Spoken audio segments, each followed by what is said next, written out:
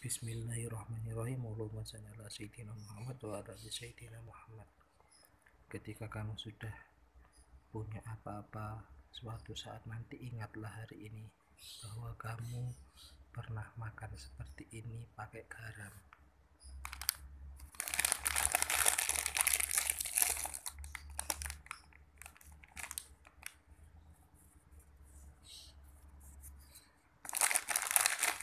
Sekarang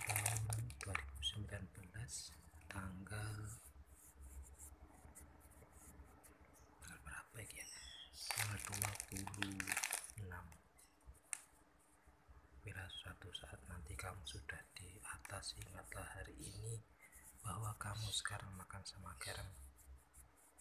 Jadi orang jangan sombong. Selalu melihatlah ke bawah jangan terlalu ke atas. Assalamualaikum warahmatullahi wabarakatuh.